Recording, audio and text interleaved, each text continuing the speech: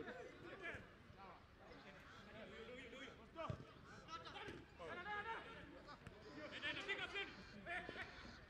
Oh, klar, klar. Otto. Pass, pass. Pass. Hier, pass, komm, dies. Boom. Weg der. Boom. Joga, joga, joga. Joga, joga. Joga, joga.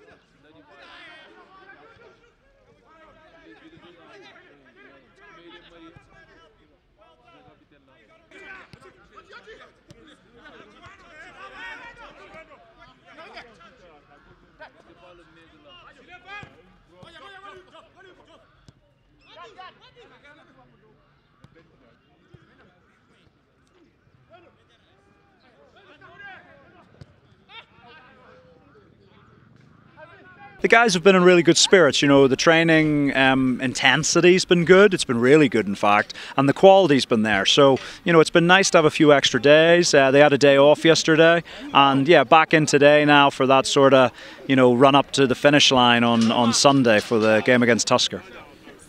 I'm assuming uh, ever since your first leg win against Tusker, you've had a chance to watch them after that. Uh, do you think they, they, are the same team you, you beat last time round, or is there a difference about them? Obviously, they've added a couple of players um, in the mid-season transfer window. Um, the new left back, obviously Levin, joined them, who's very talented. Um, and there's one or two other changes in there. Obviously, um, Ojok's back playing regularly. He had a little period where he wasn't in the side, and they've had one or two sort of injuries who've come back. So, but in terms of their setup and their structure, there's not a lot of difference. You know, Tusker are a team who they're what I would call a no thrills team. You know, they they know what they're trying to do. Um, they're very steadfast in their approach to the game, but they do it very well. You know, the way they play, they do it very well. And so we know that we've got to be at our best to break that down. And also, look, there's I don't think there's been a team in the league who scored more late goals. You know, but that shows you a great mental toughness on the on the part of our opponents that it doesn't matter whether they're winning, losing, drawing the game, that they go until the 95th minute. And you've seen several games where they've scored in the 91st, 92nd, 93rd minute.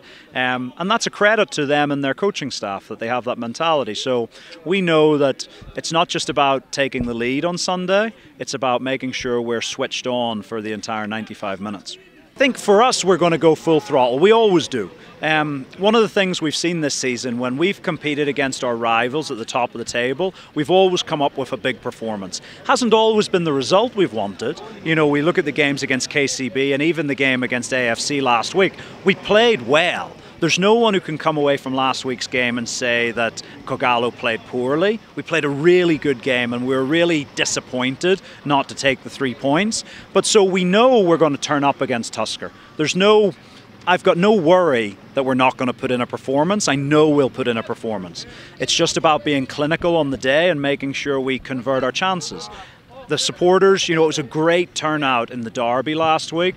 You know, I don't know exactly what the number was, but there must have been, I don't know, 15,000 green fans in the stadium. So it was a great day out for those guys in terms of their numbers. It's another weekend game. I know it's been challenging this season. Some of the games have been midweek, but it's a Sunday game. You know, come out. Hopefully, it's good weather. Come out in your thousands and cheer us on for what is going to be a really important game in the title race.